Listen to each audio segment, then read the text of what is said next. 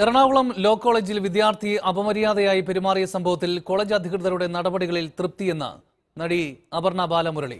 Law കോളേജിൽ അങ്ങനെ സംഭവിക്കരുതായിരുന്നു. അവിടുത്തെ എല്ലാ കുട്ടികളും സംഭവത്തിൽ മാപ്പ് പറഞ്ഞു. കോളേജിനെ താൻ ബഹുമാനിക്കുന്നുവെന്നും അപർണ ബാലമുരളി പറഞ്ഞു. ഞാൻ വേറെ പരാതി ഇതിപ്പോ ലോ കോളേജാണ്. അവർക്ക് അറിയാം അവർക്ക് അറിയാലോ എന്താ ചെയ്യേണ്ടതെന്ന്. അതുപോലെ തന്നെ അവരത് ചെയ്തിട്ടുമുണ്ട്. അപ്പോൾ അവരുടെ എന്താ പറയാ നടപടി എനിക്ക് ഞാൻ നോക്കിയിട്ട് തൃപ്തികരമായിരുന്നു. കാരണം ലോ കോളേജിൽ അങ്ങനെ സംഭവിക്കരുതായിരുന്നു എന്ന് എനിക്ക് തോന്നി. അപ്പോൾ respect that college college authorities decision